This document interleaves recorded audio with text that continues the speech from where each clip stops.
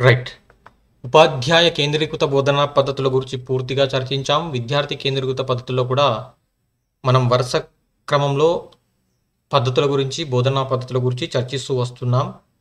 దాంట్లో భాగంగా ఈరోజు మాట్లాడబోయేటటువంటి విద్యార్థి కేంద్రీకృత పద్ధతి కృత్యాధార పద్ధతి దీన్నే కార్యకలాపాల పద్ధతి అని పిలుస్తాం. ఇంగ్లీష్లో వచ్చేసరికి యాక్టివిటీ బేస్డ్ మెథడ్గా పిలుస్తాం అన్నమాట ఇది అత్యంత ముఖ్యమైనటువంటి బోధనా పద్ధతిగా మనం దీన్ని పిలవచ్చు.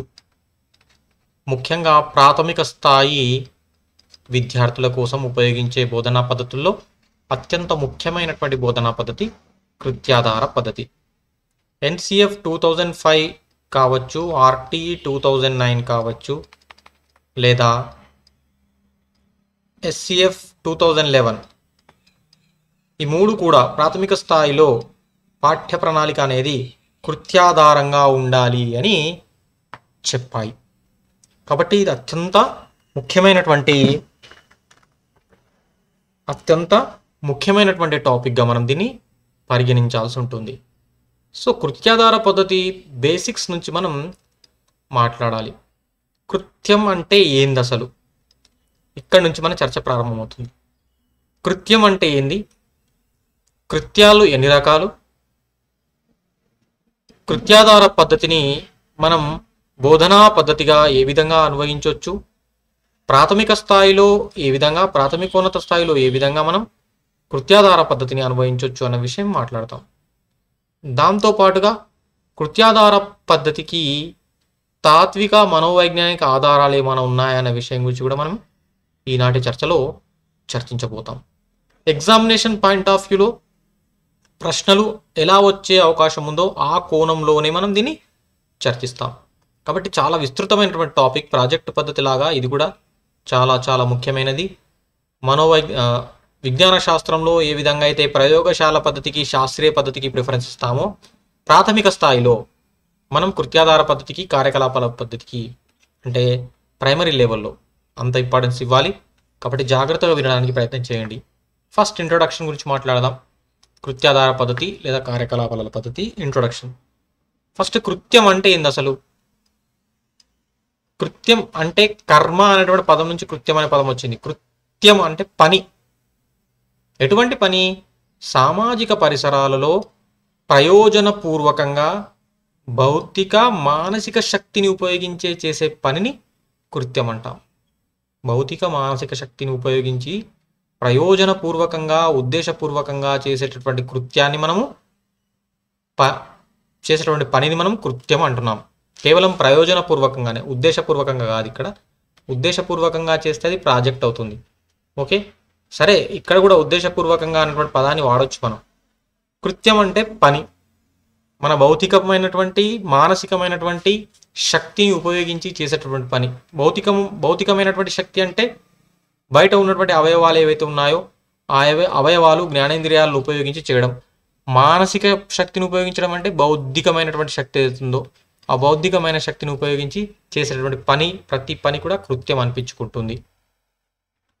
మరి కృత్యాధార పద్ధతి అంటే ఏంది? అంటే అటువంటి కృత్యాన్ని విద్యార్థులకు అందించి ఆ కృత్యాలలో విద్యార్థులు చురుకుగా పాల్గొనేటట్టు చేసి అభ్యసన అనుభవాలను కలిగించి బోధించడాన్ని మనం కృత్యాధార పద్ధతి అంటాం.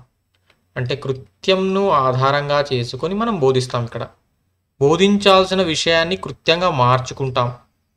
బోధించేటటువంటి అంశం ఏదో బోధనాంశాన్ని మనం కృత్యంగా మార్చుకుంటాం ఫస్ట్. బోధనాంశంను కృత్యంగా మార్చుకొని తదనుగుణంగా ప్రణాళికను రచించి మనం బోధించడం జరుగుతుందన్నమాట. మొట్టమొదటిసారిగా ప్రప్రథమంగా ఈశ్వర్భాయ్ పటేల్ కమిటీ పాఠశాలలో సాంఘిక ఉపయోగ ఉత్పాదక కృత్యాలు ఎస్సిపిడబ్ల్యూ అంటాం. ఎస్సిపిడబ్ల్యూ అంటే socially useful and productive works. Socially useful productive works. ఆయన ఉండదు ఇక్కడ. Socially useful productive works. Socially useful productive works. సాంఘికోపయోగ ఉత్పాదక కృత్యాలు ప్రవేశపెట్టాలని ఈశ్వర్ పటేల్ కమిషన్ చూపించింది ఎక్కడ ప్రవేశపెట్టాలి? పాఠశాలలో. జాతీయ విద్యా విధానం ఏం చేసింది? నైన్టీన్ సిక్స్టీ ఫోర్ కావచ్చు నైన్టీన్ ఎయిటీ సిక్స్ కావచ్చు ముఖ్యంగా nineteen sixty four. Nineteen sixty four ఏం చేసింది అంటే ఈ భావననే ఎస్సిపిడబ్ల్యూ భావన ఏదైతుందో ఈ ఎస్సిపిడబ్ల్యూ భావననే పని అనుభవం అన్న పేరుతో పేరు మార్చి ప్రవేశపెట్టింది అనమాట పని అనుభవం వర్క్ ఎక్స్పీరియన్స్ అంటాం కదా? వర్క్ ఎక్స్పీరియన్స్ అన్న పేరుతో పేరు మార్చి మన కరికులంలో ప్రవేశపెట్టడం జరిగిందనమాట ఆ రకంగా పాఠశాల విద్యా ప్రణాళికలో కృత్యాలను అంతర్భాగంగా చేయడం జరిగింది. కృత్యాల యొక్క ఇంపార్టెన్స్ని గుర్తించి. కృత్యంలో పాల్గొనేటప్పుడు కృత్యం అనేది కేవలం పిల్లాడి యొక్క జ్ఞానాత్మక రంగాన్ని మాత్రమే ప్రభావితం చేయదు. మానసిక చలనాత్మక రంగంతో పాటు భావావేశ రంగాన్ని కూడా ప్రభావితం చేస్తుంది. వాడు కృత్యంలో పాల్గొంటున్నాడంటే వాడు బౌద్ధికమైనటువంటి ప్రక్రియలు ఏవైతే ఉంటాయో ఆ ప్రక్రియలు కూడా జరుపుతూ ఉంటాడు. దాంతో పాటుగా ఉద్వేగాంశాలు భావావేశాంశాలు ఏవైతే ఉంటాయో ప్రతిస్పందించడం కావచ్చు అభినందించడం కావచ్చు ఒక రకమైనటువంటి వైఖరిని పెంపొందించుకోవడం కావచ్చు గ్రహించడం కావచ్చు సమాచారాన్ని. సో ఈ విధంగా భావావేశ రంగానికి సంబంధించినటువంటి అంశాలు ఏవైతే ఉంటాయో వాటికి కూడా వాడు ట్రైనింగ్ ఇస్తూ ఉంటాడు. దాంతోపాటు పని చేస్తుంటాడు కాబట్టి నైపుణ్యాలు కూడా వికసిస్తాయి కాబట్టి మానసిక చలనాత్మక రంగం కూడా డెవలప్ అయ్యే అవకాశం ఉంది. కాబట్టి మూడు రంగాలను ఏకకాలంలో ప్రభావితం చేసే పద్ధతి కాబట్టి ఇది అత్యంత ముఖ్యమైన పద్ధతిగా దీన్ని అభివర్ణిస్తారు. నెక్స్ట్ కృత్యాలలో రకాలు. చూడండి ఇక్కడ అసలు పిల్లవాడు స్వాభావికంగా ఏదో ఒకటి చేయాలని ఉంటుంది వాడికి న్యాచురల్గా ఇది వ్యక్తుల యొక్క లక్ష్యం మనిషి యొక్క లక్షణం ఏంటంటే ఏదో ఒకటి చేయాలి స్వాభావికంగా పిల్లవాడు ఇది ఇంకెప్పుడు ఉంటుంది? ఏదో ఒకటి చేయాలి ఏదో ఒకటి ఏదో ఒక పనిని చేయాలి అన్నటువంటి కుతూహలం ఆసక్తి జిజ్ఞాస వాళ్ళలో ఉంటుంది. అది ఏ రూపాలు ఉంటుంది? ఏదో ఒక పనిని చేస్తుంటాడు లేదా వస్తువులు సేకరిస్తుంటాడు రకరకాల వస్తువుల్ని సేకరిస్తుంటాడు ఆటలాడుతూ ఉంటాడు పరిశీలిస్తుంటాడు మాట్లాడుతూ ఉంటాడు రాస్తూ ఉంటాడు ఏదైనా బొమ్మలు గీస్తూ ఉంటాడు వస్తువులను సేకరిస్తూ ఉంటాడు. ఇట్లాంటివన్నీ ఏదో ఒకటి చెయ్యాలన్నటువంటి తపన వాడిలో ఉంటుంది. కాబట్టి వాడు చేసే ప్రతి పని కూడా కృత్యమే. వాడు చేసేటటువంటి ప్రతి పని కూడా కృత్యమే. చూడండి ఇన్ని రకాల కృత్యాలు వాడు చేస్తుంటాడు డైలీ. దీంట్లో భౌతికపరమైనవి అంటే భౌతికపరమైనవి అంటే శారీరక అవయవాలు ఉపయోగించి చేసే పనులు. పరిగెత్తడం దూకడం ఎగరడం ఆటలాడడం బొమ్మలు గీయడం సో ఇవన్నీ కూడా భౌతికపరమైనవి. భౌతికపరమైనవి ఏమేం చేస్తాడు? పరిశీలిస్తాడు తన చుట్టూ పరిసరాన్ని. పరిశీలిస్తూ ఉంటాడు అన్వేషిస్తూ ఉంటాడు సేకరిస్తూ ఉంటాడు సమాచారాన్ని. ఇవన్నీ కూడా ప్రక్రియ నైపుణ్యాలనే కదా. అవన్నీ జరుగుతూ ఉంటాయి డైలీ. పరిశీలించడము పరిశీలించడము అన్వేషించడము వర్గీకరించడము. ఇవన్నీ కూడా బౌద్ధికమైన ప్రకృత్యాలుగా చెప్పుకోవచ్చు. ఇక అంటే ఏంటి? పరికరాలను ఉపయోగించడం అబాకస్ను ఉపయోగించడము. ప్రయోగశాలలో ప్ర- పరికరాలను ఉపయోగించడము. అవునా? ఇట్లాంటి పనులు కూడా చేస్తుంటాడు. ప్రత్యక్ష అనుభవాలు కూడా పొందుతుంటాడు. చెరువుల దగ్గరికి వెళ్ళడము బావుల దగ్గరికి వెళ్ళడము కదా? ఈతలు కొట్టడము. ఇవన్నీ కూడా ప్రత్యక్ష అనుభవాలు కిందికి వస్తుంటాయి. పొలాలను సందర్శించడము తల్లిదండ్రులతో పాటుగా తోటల్లోకి వెళ్ళడము. ఇవన్నీ కూడా ప్రత్యక్ష అనుభవాలు. డైలీ జరుగుతుంటాయి వాడికి మౌఖిక అంశాలు ఏంటివి? మాట్లాడము. ఇవన్నీ కూడా మాట్లాడము తనలో భావాలను ఇతరులకు వ్యక్తపరచడము. మౌఖికేతర అంశాలు రాయడము బొమ్మలు గీయడము సంజ్ఞలు ఉపయోగించడము ఇవన్నీ కూడా మౌఖికేతర అంశాలు ఇవన్నీ కూడా కృత్యాలు అనిపించుకుంటాయి. చూసారా? ఇన్ని రకాల కృత్యాలు డైలీ చేస్తూనే ఉంటాడు. వాడు చేసే ప్రతి పని కూడా కృత్యమే. ఆ పనుల్ని మనం ఏం చేయాలి? మనం బోధనాభ్యసనకు అన్వయించుకోవాలి. కృత్యం చేయాలి అన్నటువంటి జిజ్ఞాస ఏదైతే ఉందో శిశువుల్లో ఆ జిజ్ఞాసను మనం ఏం చేయాలి? బోధనాభ్యసన ప్రక్రియలోకి మార్చుకోవాలి. ప్రతి విద్యార్థి కూడా ఏదో ఒకటి చెయ్యాలన్నటువంటి తపన ఉంటుంది కదా. ఆ చేయాలని వాటి తపను మనము క్యాచ్ చేసుకొని వాడికి నూతన అంశాలను నూతన భావనను బోధించడానికి వాటికి ఉపయోగించాలి. ఇంకా చూడండి కృత్యాల రకాలు. కృత్యాల్లో ఇంకా ఎన్ని రకాలు ఉంటాయి? కృత్యాలను మూడు రకాలుగా ఇంకో రకంగా. ఇది వేరే వర్గీకరణ. ఈ విధంగా కూడా వర్గీకరించవచ్చు కనుక్కునే కృత్యం ఎక్స్ప్లోరేటివ్ యాక్టివిటీస్ అంటాం. ఇవి జ్ఞానాన్ని ఇస్తాయి. కనుక్కునే కృత్యం. ఏం కనుక్కుంటాడు? వాడు ఇప్పుడు ఫర్ ఎగ్జాంపుల్ తల్లిదండ్రులతో కలిసి చేనుకి వెళ్ళాడు చేనుకి వెళ్ళినప్పుడు చేనులో దున్నడము ఎలా దున్నుతున్నారు? విత్తనాలు ఎలా వేస్తున్నారు? నాట్లు ఎలా వేస్తున్నారు? అక్కడ రకరకాల పురుగుల్ని చూస్తాడు. నేల వానపాములు చూస్తాడు. రకరకాల జీవులను వాడు పరిచయం చేసుకుంటాడు. పక్షులు కనిపిస్తాయి వాడికి. రకరకాల పక్షులు కనిపిస్తాయి నెమళ్ళు కనిపిస్తుంటాయి. ఇవన్నీ కూడా వాడు అన్వేషించాలి అన్న దృక్పథంతో చేసే ప్రతి కృత్యం కూడా కనుక్కునే కృత్యమే వస్తుంది. ఇవి జ్ఞానాన్ని ఇస్తాయి వానికి ఎక్స్ప్లోరేటివ్ యాక్టివిటీస్ అంటాం మనం. తర్వాత అనుభవాన్ని ఇచ్చే కృత్యాలు ఏవైతే ఉంటాయో వాటిని కన్స్ట్రక్టివ్ యాక్టివ్ యాక్టివిటీస్ అంటాం నిర్మాణాత్మక కృత్యాలు. ఇవి జ్ఞానాన్ని నిర్మిస్తాయి. ఇవి జ్ఞానాన్ని ఇస్తే ఇవి నిర్మిస్తాయి అనమాట ఇంతకుముందు చూసినటువంటి సంఘటనలు ఏవైతే ఉన్నాయో సంఘటనల ద్వారా వాడు ఏం చేస్తాడు? వాడి జ్ఞానాన్ని నిర్మిస్తాడు నిర్మించుకుంటాడు.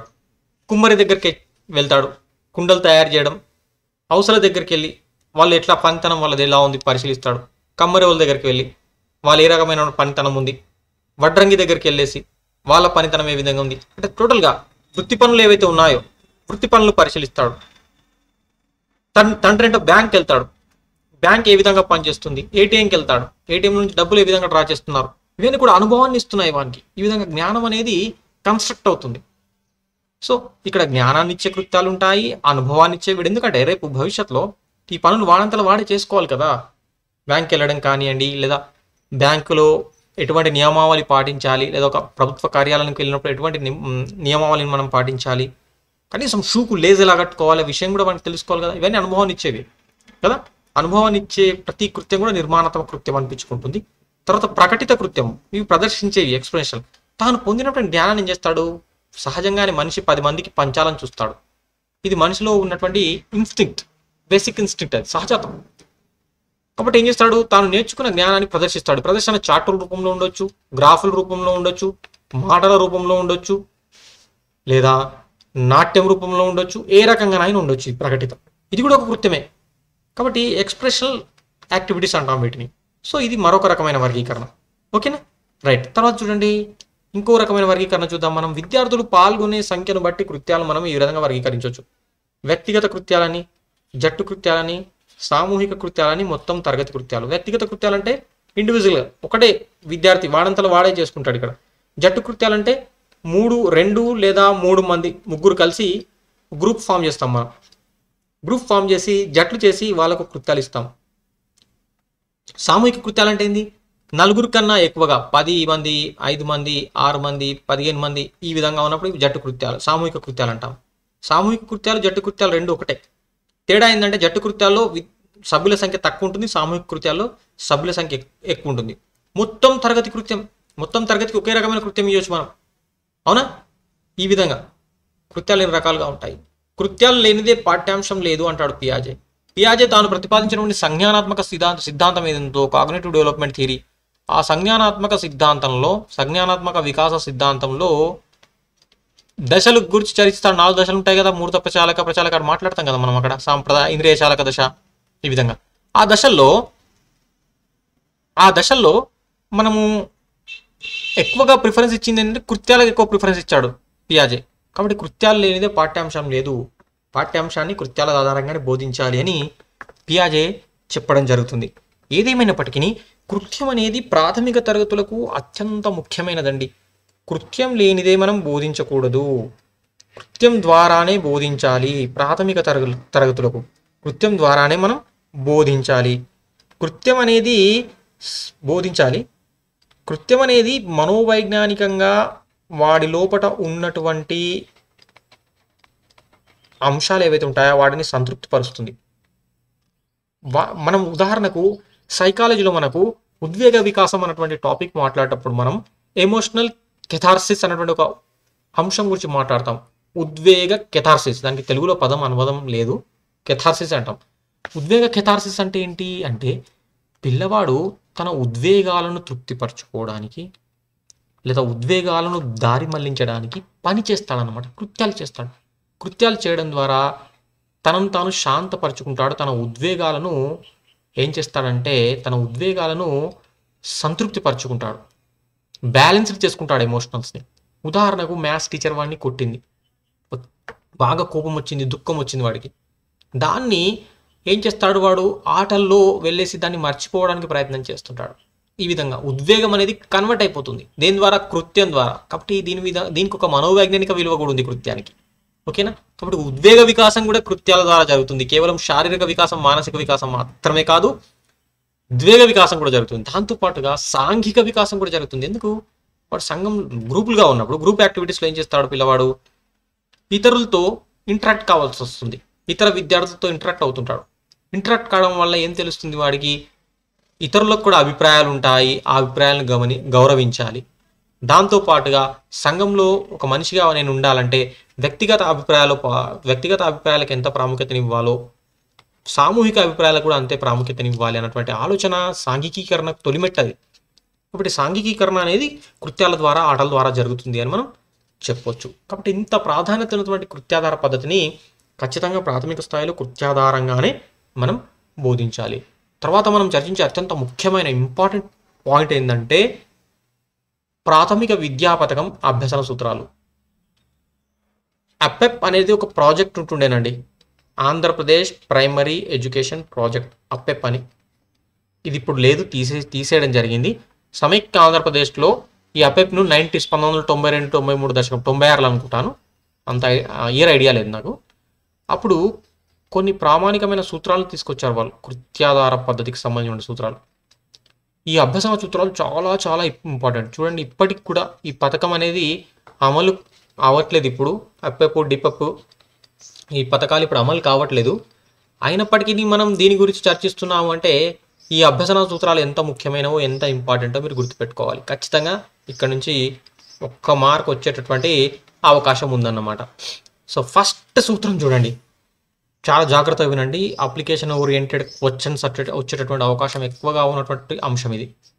విద్యా పథకం అపెప్ సూత్రాలు అభ్యసన సూత్రాలు. ఇక్కడ చూడండి.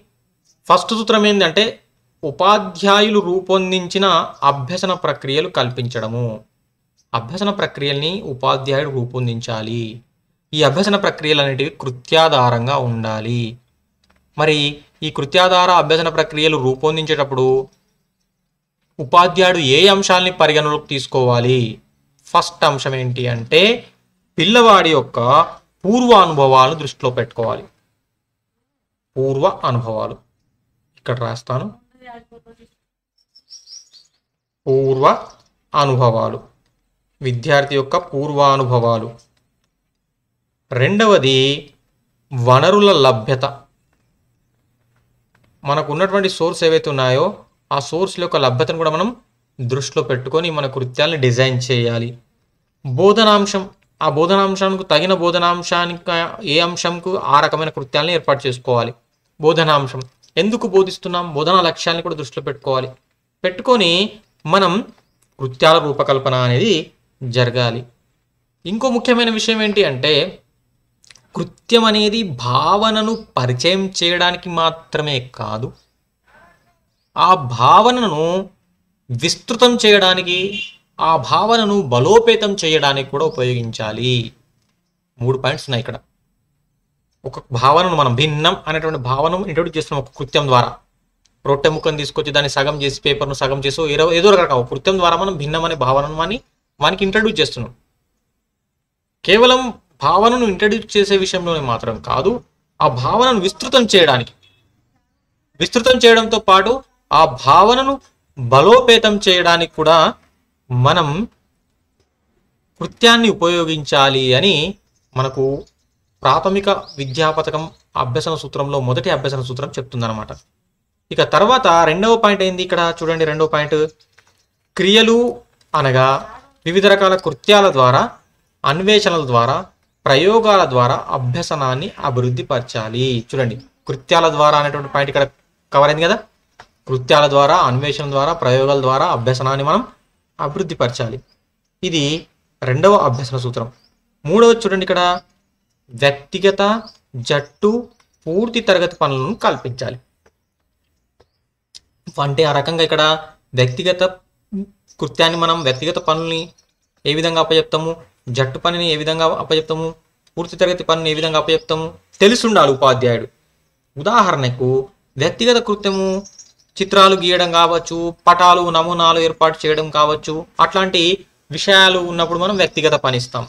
సులభమైన కృత్యాలు. వాడు ఒకే ఒంటరిగా చేసుకోగలడు అట్లాంటి కృత్యాలు. జట్టు కృత్యాలకు ఎప్పుడు ప్రిఫరెన్స్ ఇవ్వాలి కొద్దిగా టీమ్ స్పిరిట్ పెంపొందించేటువంటి కృత్యాలు ఏవైతే ఉంటాయో ఆ కృత్యాలు మనం జట్టు ఫామ్ చేయాలి. ఓకేనా? అంటే ఇక్కడ చెప్పాల్సిన ముఖ్యమైన విషయం ఏంటంటే జట్టు కృత్యాల్లో ఒక పనిని వాడు ఒంటరిగా చేసుకోలేడు. సమూహం అంటే కొంతమంది సహాయం వాడికి అవసరం. అట్లాంటప్పుడు మనం జట్టు కృత్యాలను ఏర్పాటు చేస్తాం. పూర్తి తరగతి కృత్యాలు ఏంటి? కొన్ని విషయాలను ఉపాధ్యాయుడే బోధించాల్సి ఉంటుంది. అట్లాంటప్పుడు ఏం చేస్తాడు? ఉపాధ్యాయుడు మొత్తం పూర్తి తరగతిని కూర్చోబెట్టేసి పూర్తి తరగతికి ఒకే రకమైన కృత్యం ఇస్తాడు. వనరుల కొడుతున్నప్పుడు ఇట్లాంటి పద్ధతి మనం అనుసరించాలి. వనరులు తక్కువ ఉన్నాయి విద్యార్థులు ఎక్కువ ఉన్నారు ఓకే? చేయాల్సిన ప్రయోగ ఉపయోగించాల్సిన పరికరాలు చాలా తక్కువ ఉన్నాయి విద్యార్థుల సంఖ్య ఎక్కువ ఉంది అట్లాంటప్పుడు మనం పూర్తి తరగతి పని కావచ్చు జట్టు పనిని కావచ్చు ప్రిఫరెన్స్ ఇవ్వచ్చు వ్యక్తిగత పనిని ఎప్పుడు ఇవ్వాలి? సులభంగా ఉన్నటువంటి కృత్యాలు వాడు ఒంటరిగా చేసుకోగలడు అనేటువంటి కృత్యాలు ఉన్నప్పుడు వ్యక్తిగత కృత్యాలు ఇవ్వాలి. ఓకేనా? ఈ విధంగా కృత్యాలు ఇవ్వాలి అని చెప్తుంది మనకు అభ్యసన పథకం. ప్రాథమిక విద్యా పథకం. తర్వాత చూడండి నాలుగవ పాయింట్ వైయక్తిక భేదాలకు తగిన అభ్యసనాన్ని కల్పించాలి. చూడండి పాఠశాలలో విభిన్న రకాల నేపథ్యాలు ఉన్న పిల్లలు ఉంటారు విభిన్న రకాల స్థాయిలు ఉన్నటువంటి పిల్లలు ఉంటారు అవునా? అభ్యసనంలో వెనుకబడే పిల్లలు ఉంటారు ప్రతిభావంతులు కూడా ఉంటారు. ఒక మోస్తరుగా చదివే పిల్లలు ఉంటారు వాళ్ళందరినీ దృష్టిలో పెట్టుకొని మనం అభ్యసనాన్ని కల్పించాలి. ఇప్పుడు ఇక్కడ గ్రూపులు చేసే సందర్భంలో మనం రెండు రకాల అంశాల్ని మనము చూడవచ్చు ఇక్కడ. ఏ విధంగా చూడండి ఇక్కడ. ఇక్కడ మనము గ్రూప్ ఫామ్ చేసేటప్పుడు సజాతీయ సమూహంగా చేయొచ్చు విజాతీయ సమూహం. దీన్ని కూడా మీరు గుర్తుపెట్టుకోవాలి. సజాతీయ సమూహం. హోమోజీనియస్ గ్రూప్ అంటాం దీన్ని. ఇంగ్లీష్లో కూడా రాస్తున్నాను. Homogeneous group. తర్వాత విజాతీయ సమూహం. విజాతీయ సమూహం. హెటిరోజీనియస్ గ్రూప్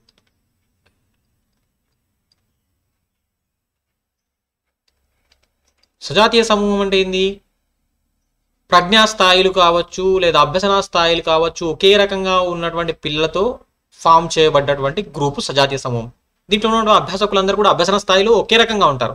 అభ్యసన నిష్పాదన ఒకే రకంగా ఉంటుంది. ప్రజ్ఞా స్థాయి అనేది ఒకే రకంగా ఉంటుంది. అట్లాంటి గ్రూప్ని మనం సజాతీయ సమూహం అంటాం. ఇక విజాతీయ సమూహం అంటే దీంట్లో అభ్యసనంలో వెనుకబడినటువంటి విద్యార్థి ఉంటాడు ఒక మోస్తరుగా చదివే విద్యార్థి ఉంటాడు ప్రతిభావంతుడైనటువంటి విద్యార్థి కూడా ఉంటాడు. ఈ విధంగా వేరు వేరు అభ్యసన స్థాయిలో ఉన్నటువంటి పిల్లల్ని మనము ఒక దగ్గర కలిపేసి గ్రూప్ ఫామ్ చేస్తే దాన్ని విజాతీయ సమూహం అంటాం. ఇట్లా ఈ ట్యాక్టిల్ని ఈ రకమైనటువంటి వ్యూహాన్ని మనం అనుసరించాలి. వైయక్తిక భేదాల ఆధారంగా మనము మనము వైయక్తిక భేదాల ఆధారంగా దీన్ని మనము ఆ కృత్యాలు చేయాలి అంటే. ఓకేనా? ఓకే. తర్వాత ఐదవ చూడండి ఇక్కడ. విద్యార్థులు పనిని ప్రదర్శించడం ద్వారా ఆసక్తికరమైన తరగతిని రూపొందించడం. ఇది చాలా ఇంపార్టెంట్. ఆసక్తికరమైనటువంటి తరగతి గది రూపకల్పన అనేది చాలా చాలా ఇంపార్టెంట్. ఆసక్తికరమైన తరగతి గదుల రూపకల్పనలో మనం చేసేటటువంటి విషయం ఏంటి? ఇక్కడ విద్యార్థులు సేకరించేటువంటి వనరులు కావచ్చు వస్తువులు కావచ్చు వాటిని తరగతి గదిలో ప్రదర్శించాలి మనం. తరగతి గదిలో ప్రదర్శించేసి తరగతి గదిలో ప్రదర్శించేసి ఒక ఆసక్తికరమైనటువంటి లెర్నర్ ఫ్రెండ్లీ ఎన్వైరన్మెంట్ను మనం తరగతి గదిలో రూపొందించాలి. ఇప్పుడు రకరకాల వస్తువులను సేకరిస్తాడు రకరకాల కృత్యాలు చేస్తాడు రకరకాల నమూనాల్ని తయారు చేస్తాడు వాటినన్నింటినీ మనం చూసేసి ఎక్కడనో పడేయదు వాడు తీసుకొచ్చిన దాన్ని తరగతి గదిలో ఒక మూలలో భద్రపరచాలి. సైన్స్ కార్నర్ అని మ్యాథ్స్ కార్నర్ అని లాంగ్వేజ్ కార్నర్స్ అని ఈ విధంగా ఏర్పాటు చేసేసి వాడు తెచ్చినటువంటి వనరుల్ని అక్కడ భద్రపరిస్తే వాడికి కూడా ఒక గుర్తింపు అనేది వస్తుంది. నా వస్తువు అక్కడ ప్రదర్శించి పది మందిలో ప్రదర్శించారన్నటువంటి గుర్తింపు అవసరం ఏదైతే ఉందో ప్ర- వాడికి తీరుతుందన్నమాట. సైకలాజికల్గా నీడ్స్ ఏదైతే ఉందో మాస్లో చెప్పినటువంటి అబ్రహాం మాస్లో చెప్పినటువంటి నీడ్ గుర్తింపు అవసరం అనేది అక్కడ తీరుతుంది వాడికి. సో ఇది కూడా ఒక మంచి పని అని చెప్పొచ్చు. అయితే ఇంకో ఆరవ సూత్రం నేను ఇక్కడ రాయలేదు చేత్తో రాస్తున్నాను. ఆరవ సూత్రం కూడా ఉంది. స్థానిక పరిసరాల్ని ఉపయోగించడము. స్థానిక వనరులను లేదా పరిసరాలను ఉపయోగించడం. స్థానిక వనరులను ఉపయోగించడం. ఈ స్లైడ్లో లేదు నేను నెక్స్ట్ తర్వాత రాస్తాను. ఇప్పుడు ఎక్స్ప్లెయిన్ చేసేటప్పుడు అయితే రాసుకోండి మీరు. స్థానిక వనరులను ఉపయోగించడం స్లైడ్లో రా రాయలేదు మర్చిపోయాను నేను.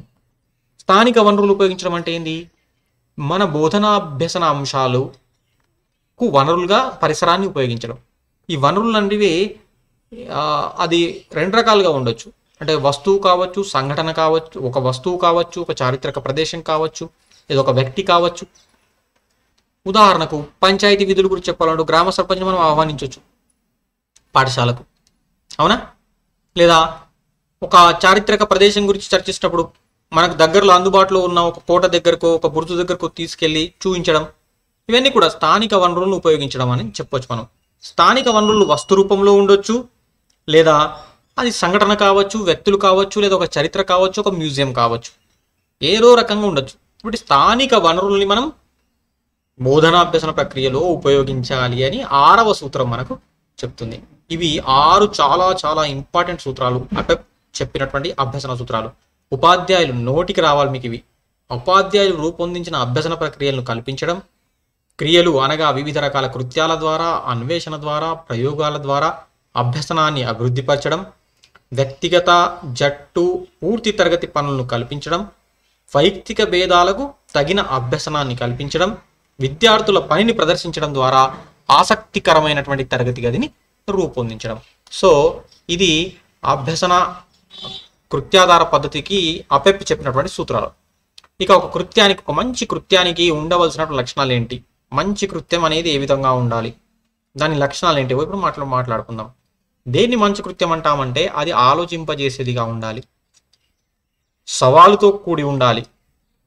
విద్యార్థుల స్థాయికి తగిన విధంగా ఉండాలి. వాళ్ళు చేసే విధంగా ఉండాలి. స్థాయికి తగినట్లుగా ఉండాలి. తరగతి గది బోధనకు ఉపయోగపడాలి ఆ కృత్యం అనేది.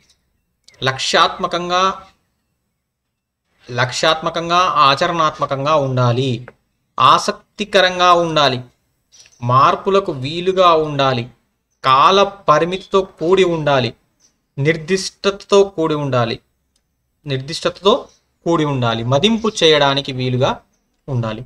ఇవన్నీ లక్షణాలు ఉంటే దాన్ని మనం మంచి కృత్యం అని చెప్పొచ్చు అన్నమాట కృత్యాధార పద్ధతిలో కృత్యం యొక్క లక్షణాలు కూడా మాట్లాడుకున్నాం మనం ఏం ఫస్ట్ ఏం మాట్లాడడం? కృత్యం అంటే ఏందో డెఫినేషన్ మాట్లాడుకున్నాం. కృత్యాధార పద్ధతికి ఏ కమిటీలు కమిషన్లు ఏం చెప్పాయి మాట్లాడుకున్నాం. అపెప్ చెప్పినటువంటి అభ్యసన సూత్రాలు ఏవైతే ఉన్నాయో సూత్రాలు మాట్లాడుకున్నాం. కృత్యాల రకాల వర్గీకరణ గురించి మాట్లాడుకున్నాం. ఒక మంచి కృత్యానికి ఉండాల్సిన లక్షణాల గురించి నేటి క్లాస్లో మనం మాట్లాడడం జరిగింది. తర్వాత కృత్యాధార పద్ధతిలో అంతర్భాగంగా మనము ఈ యొక్క అభ్యసన నమూనా అనేది ఉంది. సైన్స్లో వస్తుంది మనకు. రెండు అభ్యసన నమూనాలు మనకు ఉన్నాయి. ఈఎల్పిఎస్ నమూనా అని ఫైవ్ ఈ నమూనా. చాలా ఇంపార్టెంట్ ఇది. ఒక్కసారి దీని గురించి చర్చిద్దాం.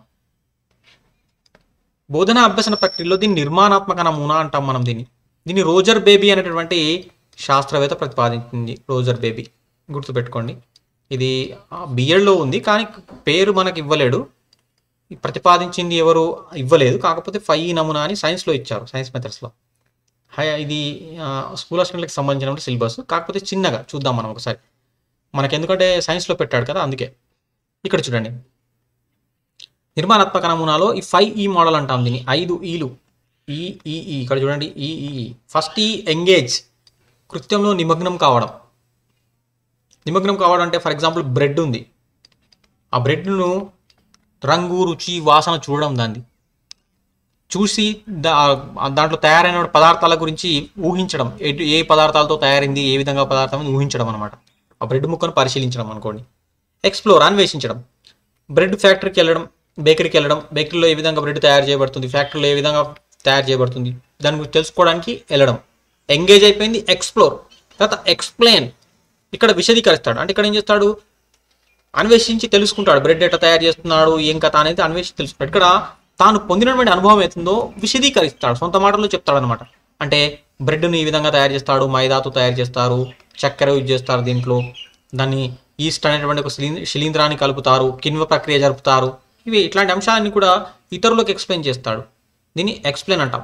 నెక్స్ట్ స్టేజ్ ఎలాబొరేట్ విపులీకరించడం. ఇక్కడ కూడా విశదీకరిస్తాడు ఇది కూడా విశదీకరణ. కాకపోతే ఇక్కడ ప్రతి అంశాన్ని సూక్ష్మ అంశాలతో సహా విపులీకరిస్తాడు. కిన్వ ప్రక్రియ అనేది ఏ విధంగా జరిగింది కిన్వ ప్రక్రియను సాంకేతిక రూపంలో ఏ విధంగా రాయొచ్చు రసాయన శాస్త్రంలో దీన్ని ఏ విధంగా ఉపయోగిస్తాం మొత్తం వివరిస్తాడు అన్నట్టు అన్నమాట. అంటే ఇక్కడ సూక్ష్మ అంశాలను కూడా వదలకుండా లోతుల్లోకి వెళ్ళి వివరించడం అనేది ఎలాబొరేట్ ఎక్స్ప్లెయిన్ అంటే చూసింది జస్ట్ ఎక్స్ప్లెయిన్ చేయడం అంతే. అది విశదీకరించడం కిందకి వస్తుంది. నెక్స్ట్ లాస్ట్ ఈ ఇవాల్యుయేషన్ మూల్యాంకనం చేయడం. తాను పొందిందన్నట్టుకి నివేదికలు తయారు చేయడం దానికి మంచి చెడులు నిర్ధారించడం అవన్నీ చేయడం అనమాట దాన్ని విలువ నిర్ధారణ లేదా మూల్యాంకనం చేయడం అంటాం. ఇది ఫైవ్ ఈస్ అనేది important five ఈలలో first E engage explore explain elaborate evaluate so ఇక్కడ మనం కిన్వ ప్రక్రియ భావనను ఫర్మెంటేషన్ భావనను బ్రెడ్ ఫ్యాక్టరీకి వెళ్ళడం ద్వారా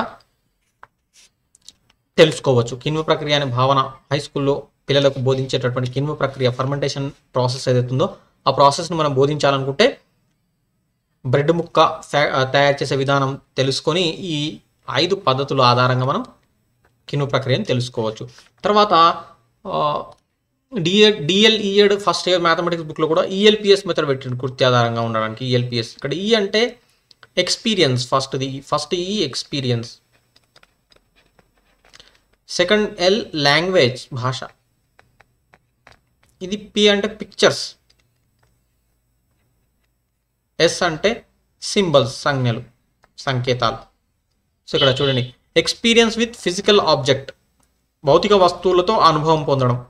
బంతిని ఉపయోగించడం గోళాకార వస్తువు గురించి బంతిని చూడడం దాన్ని వాడడం పరికరాలను వాడడం అనమాట స్పోకెన్ లాంగ్వేజ్ తాను ఇక్కడ పరికరాలను వాడాడు కదా వాడిన పరికరాలని భాషా రూపంలోకి మా తాను చేసిన పనిని భాషా రూపంలోకి మార్చి వివరించడం అనమాట ఇక్కడ పిక్చర్స్ బొమ్మల్ని పటాలను ఉపయోగించే సామర్థ్యం.